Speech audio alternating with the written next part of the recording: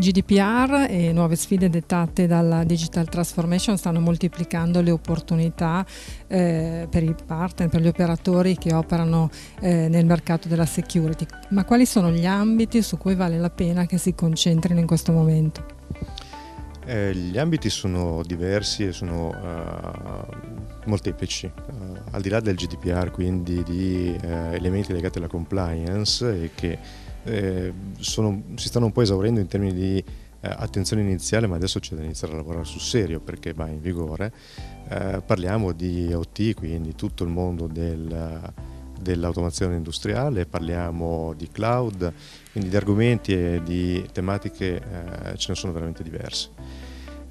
E i partner eh, devono avere una vista chiaramente un po' a 360 gradi perché tutti questi, questi elementi tra di loro sono comunque legati e pertanto è necessario che si eh, vadano, vadano, a staffarsi per adeguare la propria offerta e aggredire il, il cliente, aggredire chiaramente in senso buono, partendo da, da, da, da, una, da un concetto di assessment, passando poi per tutto quello che è la parte integrazione e di sviluppo di progetto.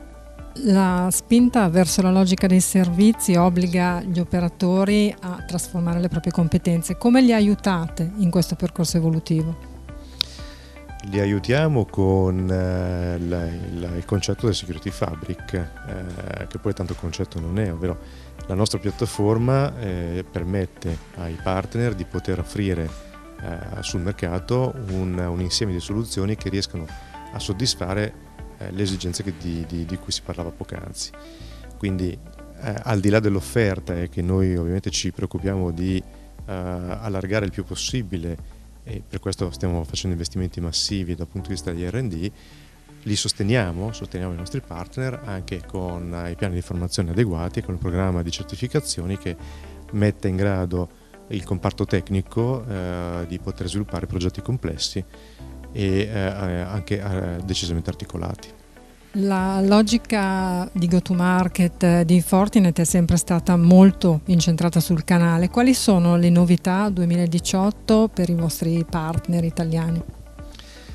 Abbiamo diverse novità, eh, abbiamo in pancia lo sviluppo del nuovo programma di canale che vedrà la luce eh, all'inizio del 2019. Introdurremo poi tutta una serie di elementi a supporto dei nostri, dei nostri partner quali eh, supporti di marketing più evoluto, quindi con eh, automazioni che permettono loro di andare sul mercato eh, in modo più veloce e più efficace.